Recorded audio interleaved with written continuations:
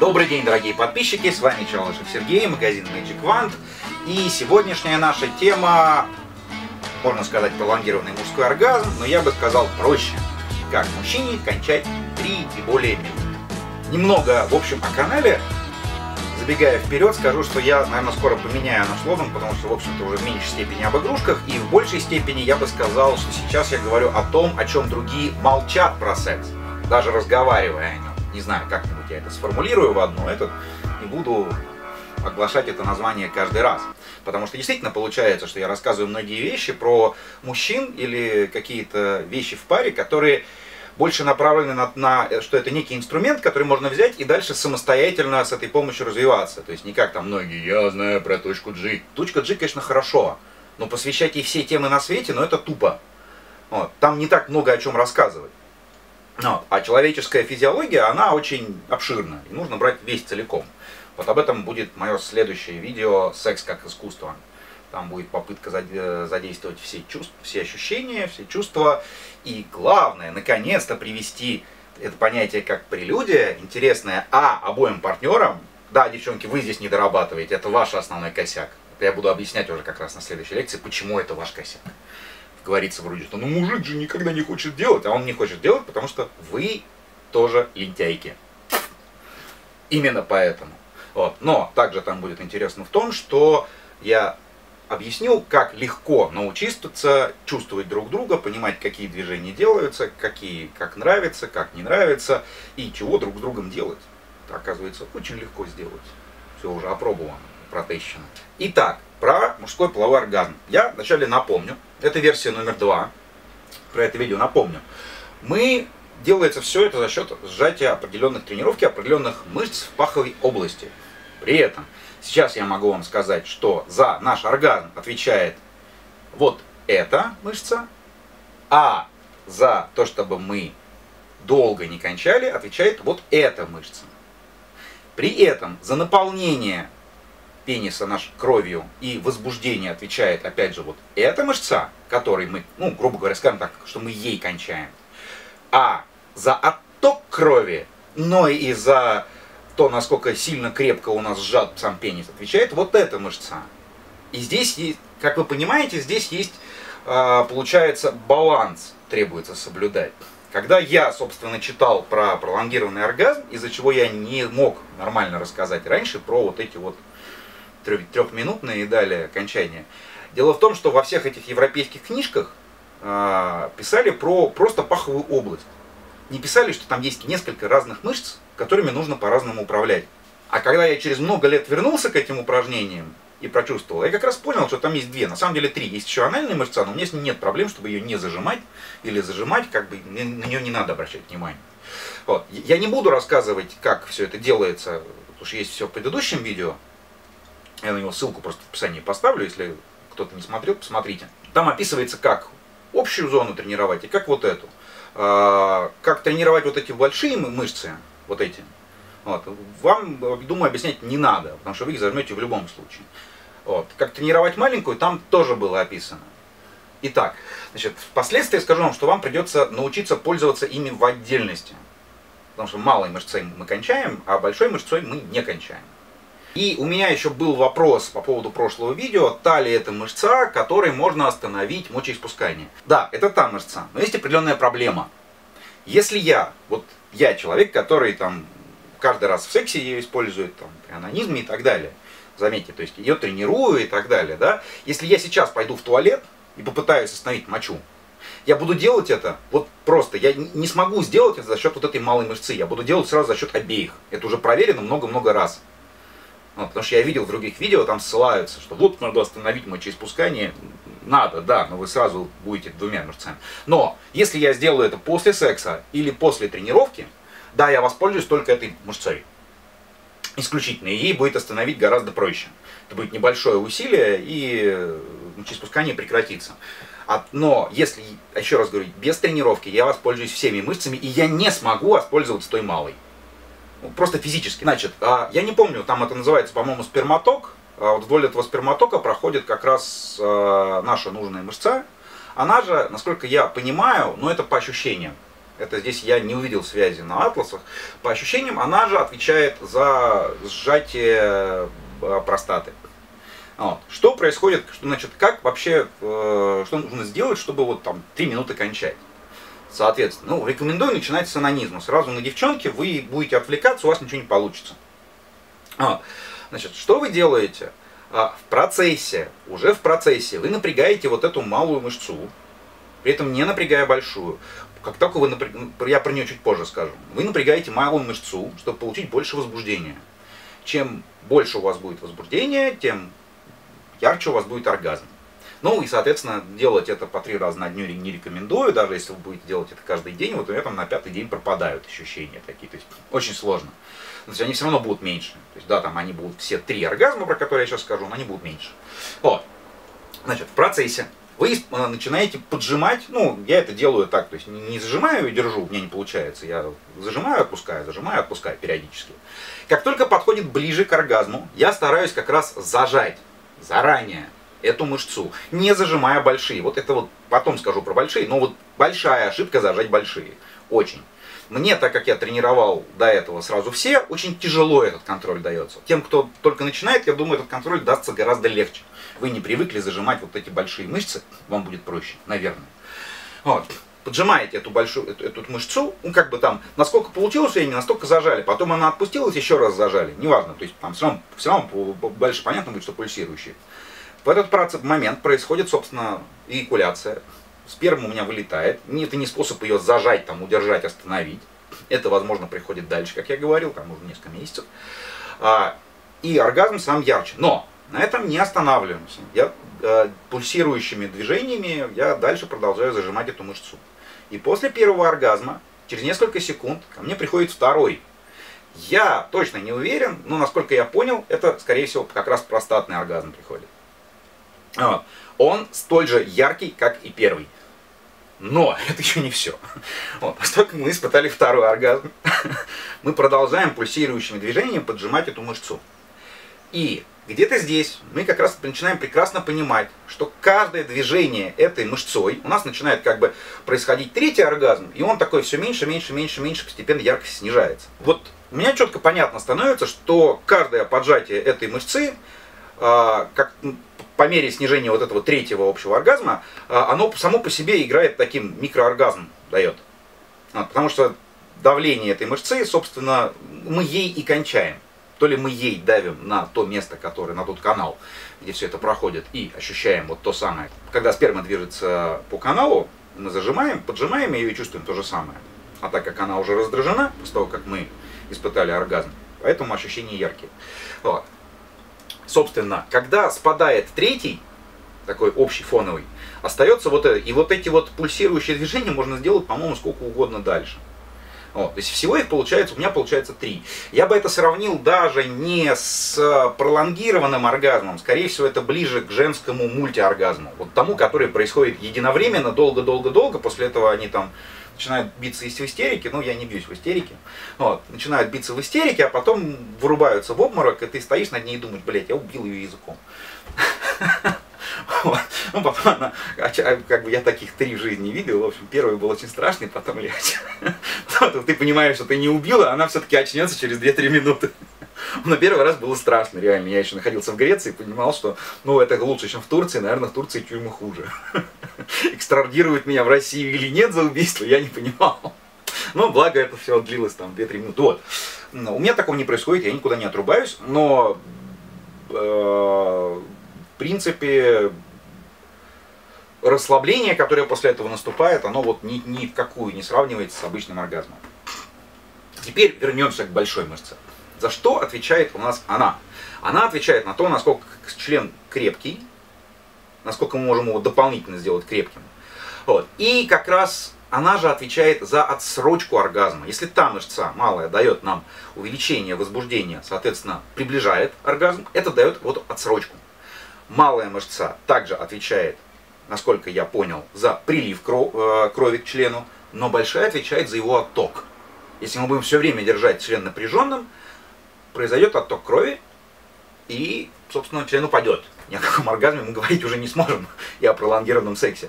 И здесь мы как раз начинаем видеть баланс, да, мы должны напрягать член, да, и большая мышца также отвечает, к сожалению, за то, что чувствительность падает, поэтому я говорил, в момент, когда мы кончаем, мы должны избежать ее напряжения. Чем больше напряжена, чем больше напряжена большая мышца, тем возбуждение меньше, у нас просто чувствительность падает. Чем больше возбуждена малая мышца, тем возбуждение больше и больше э, ярче вот эти все ощущения.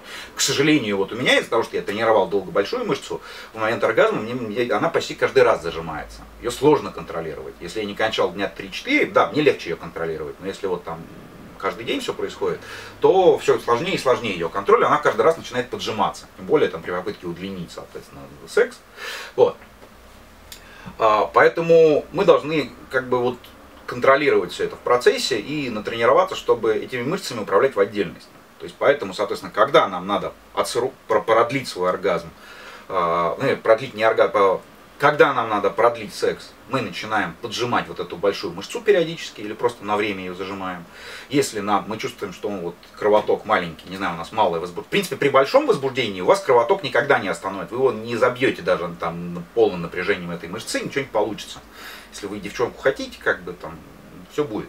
Но если вы чувствуете, что возбуждение спадает, эту мышцу отпускаем, малую мышцу начинаем поджимать. Вот, то есть таким образом мы балансируем на всем этом. А, то есть, собственно, я рассказал не только про как кончать три минуты, да, но и вот тот самый вот пролонгированный акт, как он ведется. Вот. Я рассказал также, как пролонгированный акт делается сам. Ну, то есть то, что происходит после тренировки мышцы. Вот. Ну, поэтому я и говорил э, предыдущий раз, что тем, кто не смотрел предыдущее видео и не делает упражнения, скорее всего, все, о чем я сейчас говорю, абсолютно непонятно. А тем, кто делал эти упражнения, сейчас как раз вот у них появляется больше пищи для исполнения, ну, осмысления исполнения. Ну, вот. На этом балансе все и держится. Вот эти две мышцы.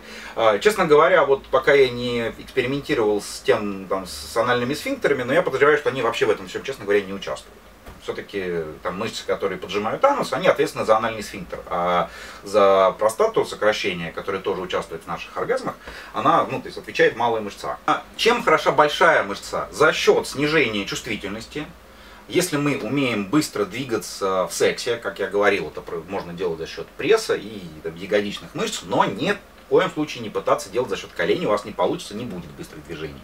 Вот. Ну, по сути, вы должны просто научиться делать толчок вперед. Вот. Не буду на этом заострять внимание, там, так как уже были там вопросы от нескольких людей мне в контакт, вот я понял, что многим тоже там надо будет еще третью, опять вторую версию снимать и по фрикциям тоже. Но, а, собственно, когда мы делаем быстрые, сильные фрикции, чтобы вот э, не кончать, ну, у кого-то у мужчин, как, например, например, у меня нет возбуждения от быстрых сильных фрикций, я больше возбуждаюсь от медленных. Поэтому для меня это вообще не проблема делать их. Вот. Но, соответственно, большая мышца также может использоваться для снижения чувствительности на вот этих вот быстрых сильных фрикциях, чтобы, собственно, не кончить. Тем, кто наоборот, у кого у кого быстрее происходит эякуляция при вот этих вот быстрых фрикциях. Это что, касает, что касалось нашей основной сегодняшней темы. И более подробно про следующую тему, про секс как искусство. А, помимо того, что э, я поясню насчет там, вот этой всякой музыки, запахов, освещения и так далее, а, мы слишком идеализируем эти моменты и делаем их, как бы относимся к ним слишком как к романтике какой-то, поэтому зачастую не используем как инструмент, просто потому что ну, кто-то боится, кто-то стесняется какой-то романтики и так далее. Но это на самом деле всего лишь взаим, взаимодействие с нашими, ну, как бы, с нашей периферией, которую мы воспринимаем. Это может все усиливать ощущение в сексе. Но основное и главное в сексе, да, это, ну, понимаем, тактильность. То есть, да, есть визуальная составляющая, есть аудио составляющая, там визуальная это самая девушка, это освещение. Любая сменяющаяся картинка при этом лучше всего неосмысленная. Да? Там, например, поэтому пламя свечи всегда отлично годится для этого. У нас перед глазами, даже закрытыми, что-то мелькает, ну, вот, так далее. Аудио, здесь все тоже понятно, это какая-то музыка и так далее. Ну, вот. Но основное в сексе все-таки это кинестетическая наша составляющая. Есть такое понятие, как модальности, есть кинестетики, те, кто ощущает телом этот мир. ощущениями, там, вкусами и так далее, запахами. Есть аудиалы, которые там на слух воспринимают большую часть. Есть визуалы, которые на этот. Есть еще четвертая модальность, к которой я отношусь, это дигиталы так называемые. Ну, вот, это те, кто строит в голове концепции, и по сути весь мир для них это куча там разных концепций. Вот. А, дигиталам сложно воспринимать мир, для этого надо его там какую-то картину построить. Но кинестетикам также сложно в нашем мире. Для кинестетиков мало что сделано, особенно в наше время, когда у нас одежда делается из говна, у которого задача там красиво выглядеть, но на ощупь, ну вот поверьте, там я вот шелк отличу там искусственный от натурального, ну потому что того, что у меня ну, там, постельное белье есть э, натурального шелка, как бы я легко сейчас отличаю. Вот. Для кинестетиков действительно мало в этом мире что. Хотя секс это в больш, большей части кинестетики, ну то есть кинестетическая составляющая. А, при том, что нет такого, что там вы ты визуал и все, там кинестетики для тебя нету, там концепции нету, звуков нету, нет. Как бы в какое-то соотношении, то есть это все равно основное, чем воспринимает мир. Вот. И э, вот в моем понимании наш секс как раз данный момент больше не для визуалов, не для аудиалов и не для кинестетиков. Он перешел в разряд, то есть все падение вот этого вот интереса к сексу у людей, оно произошло из-за того, что секс перевелся как раз в разряд больше дигиталов. То есть неких концепций, и вот мы под эти концепции что-то в голове себе представляем, и там из-за этого кончаем и возбуждаемся. Это в корне неверно, что трахаемся мы с партнерами, с партнершами. Вот тут у нас был секс-просвет, где я задавал три простых вопроса. Ну, вот. Меня после этого назвали шовинистом. Но на самом деле все это не так. Я такой же шовинист к женщинам в сексе, как по отношению к мужчинам. Ну, вот, то есть одинаково считаю, что все занимаются фигней. Ну, большая часть э, занимается там, только собой и на партнера внимания не обращает. Вот. Не потому, что мы плохие, а потому что мы как раз вот все в голове и где-то в своих фантазиях витаем. Вот. Про партнера мы не думаем. Ну, там какая-то тумбочка, которая там участвует в нашем сексе. Вот согласитесь, на самом деле мы все так относимся. Вот. А, я спрашивал простые три вещи. Это, собственно, про э, тренировку мышц. Ну, оказалось, что про то, что мышцы можно тренировать, знало всего два мужика в зале, один из них был я. Вот, про тренировку женских мышц знало там процентов 80, они руку подняли. Вот. Ну, правда, я уверен, что никто это не тренирует, потому что когда я сказал, что ну а почему вы тогда не тренируете?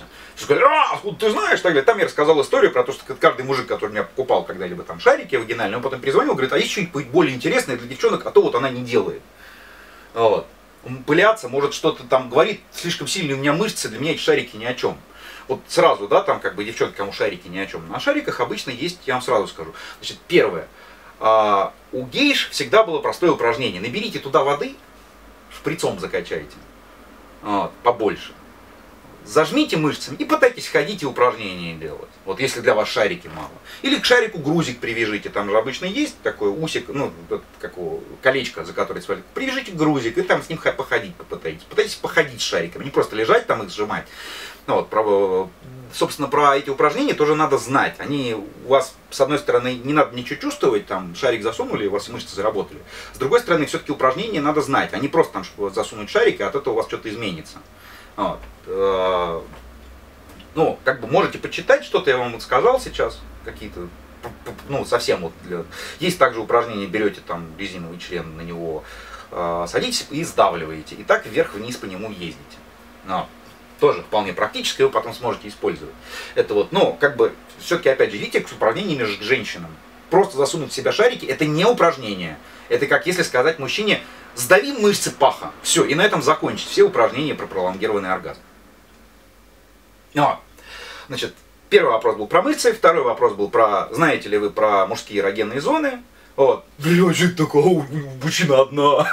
Вот. И третий вопрос, а как вы стимулируете своего мужчину для прелюдии. Зачем мужчину стимулировать прелюдию? Он должен сам. Она же для двоих. Я говорю, а для двоих что значит? Ну, он должен меня гладить. Ну, вот, знаете, он должен меня гладить для двоих. Нет, девчонки, это для одного. И вот эта часть будет как раз более всего подробно разоб... ну, разобрана. Вот. Я уже опробовал упражнения, которые позволяют понять, как, кого нужно гладить. И женщине мужчину, и мужчине женщину. И это приводит прямо вот фантастическим вариантом. То есть э, тесты я проводил с э, подругами, вот, у них почти у всех мужики есть. Вот, э, ну там тест был на руках, вот, и одна из девчонок, ну. Она задумалась, слушай, а если я сейчас кончу, говорит, от того, что ты меня трогаешь, это будет считаться изменой? Я говорю, ну конечно будет. Она такая, не-не-не, погоди, ну ты же ничего не трогаешь, не, не, будет, давай продолжай. Я сказал, нет, все, иди к мужику, и вот не там, его учи этим делать. Я считаю, что это будет изменой, вали отсюда. Этому легко научиться. Вот, об этом будет, вот, наверное, половина. То есть часть будет про вот это визуальный аудиальный контакт, часть, опять же, пояснение про кинестетику и так далее. И большая часть будет про упражнения, как понять друг друга. Они простейшие. Вот. Поэтому секс как искусство – это задействование всех наших рецепторов ощущений, и в первую очередь кинестетических. Когда я задал эти три вопроса, конечно, они все подумали, что я шовинист по отношению к женщинам. Нет, я их задавал, чтобы понять общее настроение. Об этом никто не знает, никто не думает. Да, часть из-за лени, но часть из-за непонимания. Есть люди, которым вот все на свете сделай, там расскажи, объясни, покажи там любые упражнения, он, он или она не будут делать второму партнеру ничего. Не лентяи. Вот. Но есть масса людей, которые хотят, они просто не знают. То есть, вот, ну, у меня много подписчиков сейчас спрашивают ВКонтакте, ну, стесняются же, в общем канале спрашивают, там же есть ссылка на человека. Вот. А ВКонтакте спрашивают легко, и я объясняю и так далее. У многих что-то не получается, ну, вот, но они хотят. Вот. А, но в зале было вообще полное непонимание, зачем мужчину гладить-то вообще, он что, у него там писька есть, все стоит, все хорошо. Ну, вот. Этот мужчина сам не знает, зачем нужна эта прелюдия, потому что он не понимает, как это круто может быть.